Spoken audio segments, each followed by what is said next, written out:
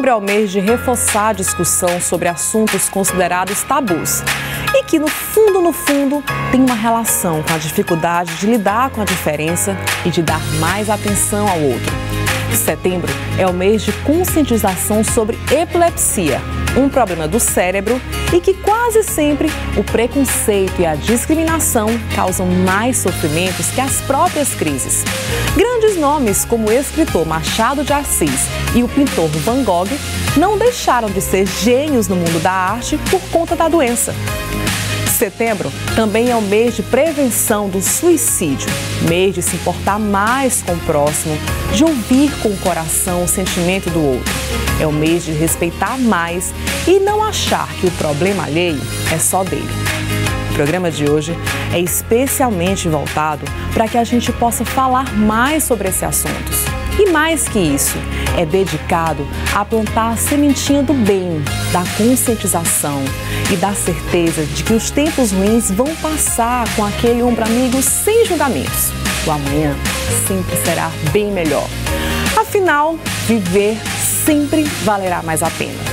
Fica aqui, dá um abraço em quem está aí do seu lado e assistam juntos.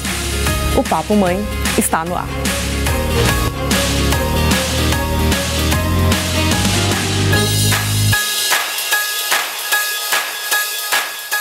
Que mamãe nunca levou aquele susto quando alguma vez o médico falou assim: cuidado que essa febre está muito alta e pode dar convulsão ou epilepsia. Enfim, a gente não entende, por isso que estamos aqui com a doutora Carolina Campelo, que é neuropediatra, especialista em epilepsia e eletroencefalograma. Falei certinho, doutora? É isso mesmo? Sim, isso mesmo. doutora, começa por favor explicando pra gente o que, que é a convulsão e o que, que, é, o que, que é a epilepsia. Qual a diferença? Então, há uma diferença importante, né, que a gente precisa definir, né, que a crise convulsiva ou convulsão, né, nada mais é do que uma desordem neuronal, né, localizada em nosso cérebro, né, que quando essa desordem, né, causa descargas excessivas, uhum. né, aí acaba manifestando né, no nosso corpo, como aquelas manifestações tônico-motoras, né, que a gente acaba vendo no meio da rua, Sim. a população, né, de se debater, dependendo do local que ela ocorra. Já a epilepsia é a doença propriamente dita, né, quando ocorre, né, repetidas vezes. Certo. Né, e sem um, sem uma causa, né? Um fator gerador. A crise convulsiva não. Ela tem um fator gerador, seja lá ela a uhum. febre, uma infecção, né? Desordens perinatais, intoxicação, álcool, drogas, né? Então, esses fatores podem levar a ter crise convulsiva. Bebê prematuros, crianças que, que, que tiveram parto prematuro, elas são mais propensas a desenvolver epilepsia? Se foi um parto que levou a um sofrimento fetal, um parto prolongado, né? Então ela pode ter essa predisposição. Pode também, né? Pode ter. Não, né, não que todos, né, uhum. possam ter, mas tem, tem a predisposição. Risco, tem a predisposição a ter ali no momento de ter a crise convulsiva.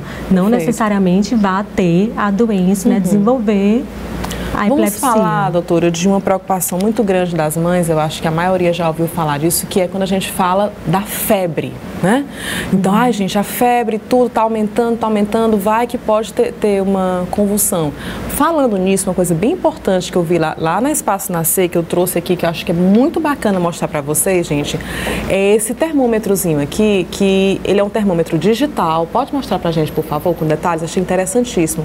E aí, ele pode aferir a temperatura temperatura sem o contato. Olha só, às vezes o bebê está dormindo e aí a mãezinha chega lá, olha, já consegue aferir a temperatura do bebê, ou a criança tá, você quer medir a temperatura da papinha ou da banheira, é uma novidade muito legal. Eu lembro que a minha mãe falou assim: "Ai, ah, não sei se essas modernidades todas não. Eu só confio naquele de mercúrio". E aí ela, a gente fez o teste, pegou o termômetro de mercúrio, pegou esse aqui deu exatamente a mesma temperatura. Então, podem confiar sim que a tecnologia já está de forma muito eficaz. É também uma forma de a gente. Você já usou, doutora? Já viu? Já, já. A gente indica sim que quando a criança tem, né, aquela que já apresentou crise convulsiva, né, nós orientamos que os pais, quando vigência de infecção, né, sempre tem esse controle, uhum. né, rigoroso mais assim, da temperatura, né. Perfeito. né. Então podendo estar utilizando esses termômetros que são mais fáceis, né? Demais. Só, Muitas só vezes qual foi a mãe que nunca ficou às vezes assim, segura o termômetro, segura o termômetro. A criança está ali, ela fica, para o termômetro não cair quando ele vai medir a temperatura axilar. E esse aqui chegou um segundo já mediu a perfeição. Mas voltando à nossa pergunta, doutora, a febre, quando ela vai para 37, 38, 39, 40, meu Deus, vai convulsionar. Faz sentido essa preocupação? É por aí mesmo? É, a preocupação é porque em criança o cérebro, o cérebro é imaturo, ainda está em desenvolvimento, então tem esse risco maior né, de sofrer essa descarga anormal, né, excessiva, uhum. né, justamente por conta de termorregulação. Então daí a gente se preocupar e orientar os pais, né? Por tá, conta desse lá. risco. Criança ou um adulto está em convulsão. Nós temos umas cartelas bem bacanas que a senhora mandou pra gente, podemos mostrar aqui, sobre como nós devemos agir. O que, que a gente deve fazer?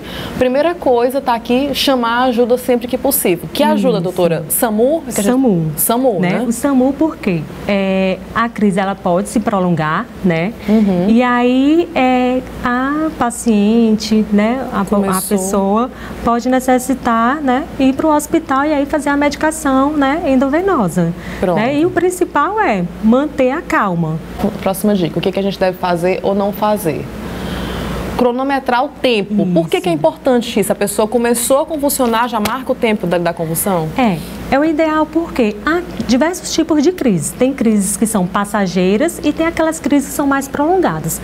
No caso do, da, do cronômetro, né, de cronometrar o tempo, é justamente nessas crises mais prolongadas, porque há um risco maior, né, de uhum. ter reentradas de crise e aí a necessidade de fazer a medicação endovenosa no hospital. Entendi. Próxima dica: o que, que a gente deve fazer quando a pessoa estiver convulsionando?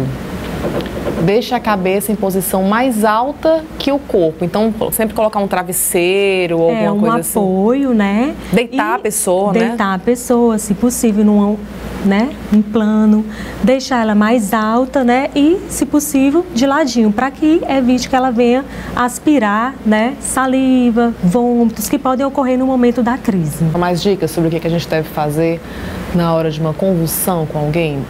Quando a crise passar, coloque a pessoa de lado para que não aspire as secreções e vire o corpo para o lado direito.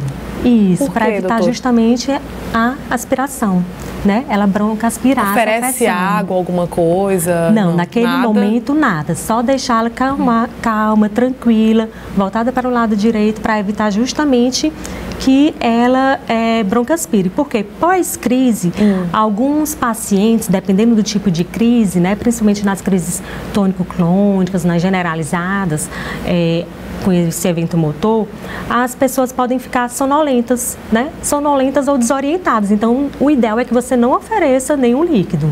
Só para deixar bem momento. claro para todo mundo que está assistindo a gente, epilepsia não é contagioso, né, doutora? Não é contagioso, não é hereditário né?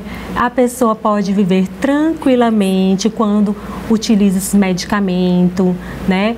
Pode dirigir após um ano de controle das crises, sem crise, pode nadar. Então, assim, pode ter uma vida tranquila coisa boa a gente ter a oportunidade Sim. de trazer a senhora aqui e mostrar isso para as pessoas, porque é muito importante a gente ter né, um mês de consciência, não só, lógico, no mês de setembro, como todos os dias do ano, mas estamos aqui marcando, é, né, marcados pelo Sim. mês de setembro, esse mês de conscientização, para mostrar isso, que não é nada do outro mundo, que é algo que é tratável, que é algo que é uhum. facilmente contornar, a pessoa pode, pode ter é, os primeiros socorros de uma pessoa em convulsão, né, é, doutora? A epilepsia é uma doença neurológica crônica bastante comum em nosso meio, né? Só no Brasil atinge, a gente atinge 4 milhões de pessoas, uhum. né? E aí existem ainda muitas pessoas sem tratamento, né? Então é importante é, esse mês de setembro, né? Que é o mês latino-americano de conscientização sobre a epilepsia, que a gente trabalha justamente, né? Orientando a população, trabalhando com esses mitos, uhum. né? E estigmas que ainda acarretam bem a doença. Só para a gente finalizar rapidinho, nosso tempo está estourado supermercado, mas aqueles uhum. chazinhos, aquelas receitinhas que a gente sempre vê, é, é verdade ou mito que eles funcionam? É mito, é serve para né, acalmar. mas serve para acalmar. Serve para acalmar.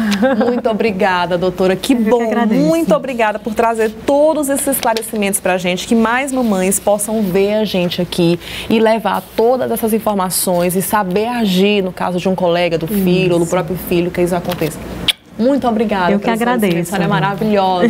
Gente, eu fui conhecer uma mãe maravilhosa. Ela tem 120 filhos. É isso mesmo. Eu fui para casa Esperança e Vida, conhecer aquele trabalho inspirador que só a gente indo lá e conhecendo para entender quão lindo, quão belo e quão gratificante é a gente cuidar do outro. Olha só. Gente,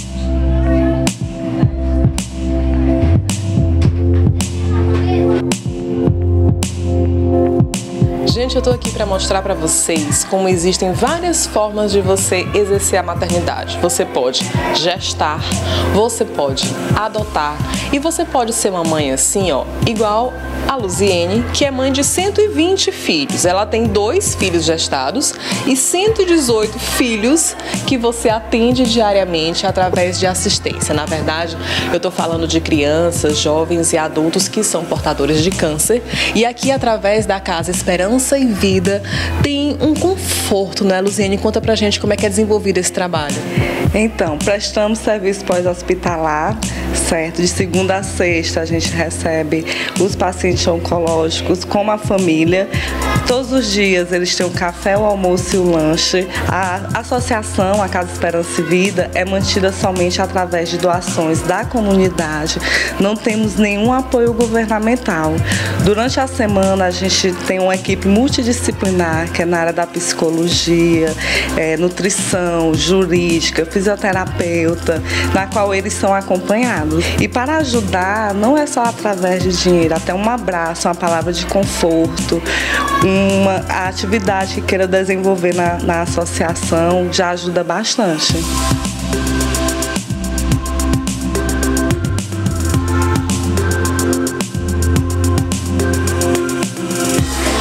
Estou aqui perfumada por essas flores lindas, essas crianças que são assistidas pela Casa Esperança e Vida. Esse rapaz lindo aqui do meu lado é o Marcos Felipe, né? Quantos anos você tem? Cinco. Cinco anos. O que, que você gosta de fazer aqui na casa? Brincar. De brincar? E essa moça aqui, que é. Como é o nome dela? Ana Beatriz. É Ana Beatriz. Quantos anos você tem, Ana Beatriz? É Ana Beatriz. Quantos anos você tem? Dois? Tá pegando não, assim. É muito bem. Coisa mais linda.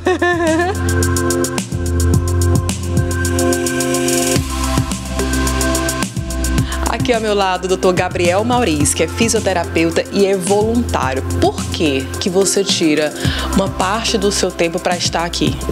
pelo fato de doar, né, de contribuir com o próximo, porque quando você né, faz esse ato de voluntário de doação, você está contribuindo com aqueles que não têm condições né, para pagar pelo seu serviço. Você acaba se envolvendo emocionalmente com essas pessoas, com essas crianças. Como é que assim, como é que é o teu dia a dia? Gente, eu sei que vocês vibram muito quando tem uma recuperação, quando tem uma cura, mas a gente precisa falar a verdade e existem também muitas perdas, né? Por mais que a gente se doe, existem as perdas. Como é que você convive com isso? É verdade, trabalhar com oncologia não é fácil, né? Porque você tem muitas recuperações, mas como você falou, você relatou, nós temos muitas perdas. E pelo por estarmos numa casa, né, de pessoas que precisam, além do nosso cuidado, precisam da nossa atenção como humano, então a, nós temos envolvimento, ficamos tristes com, a, com as perdas, mas nós precisamos buscar na superação, né, porque eles buscam em nós profissionais né, da saúde um ponto de sustentação. E aí a partir daí nós precisamos a nossa fraqueza sermos fortes para procurar sempre oferecer o melhor para esses pacientes.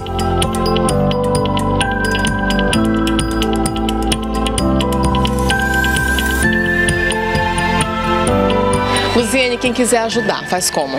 Basta se dirigir até a sede, que fica localizada aqui na rua João Vigílio, 1477 Vermelha, ou através do telefone 32218732. E também, é, ou se você não tiver como estar tá ajudando é, com dinheiro, você pode estar tá ajudando com leite, com suplementos alimentares, até uma palavra de conforto, com seu amor, já ajuda bastante. Ela falou tudo. Às vezes você está sem dinheiro, você está sem tempo, você, enfim, não importa. Às vezes você pode ter aquele, aquele leitinho que ficou lá, às vezes você pode ter um livro que você pode levar para contar uma história. Você sabe tocar algum instrumento, vai lá, toca um violão. É tão pouco que elas precisam, assim, o mínimo que a gente pode dar é o máximo para quem precisa. Faz lá uma visita, é um trabalho incrível que é desenvolvido, tá bom? Daqui a pouco a gente volta com mais Papo Mãe nesse mês especial de setembro. Até já!